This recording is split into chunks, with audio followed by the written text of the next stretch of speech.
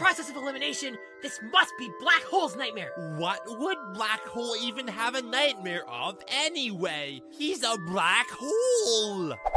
Today's challenge is to kill everything! Oh, universe. No! Black Hole's nightmare is Death!